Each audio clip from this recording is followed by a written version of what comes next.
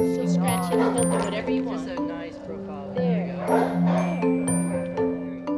This dog is seven years old. He's the longest resident at our shelter right now, so we're really looking for a home for him.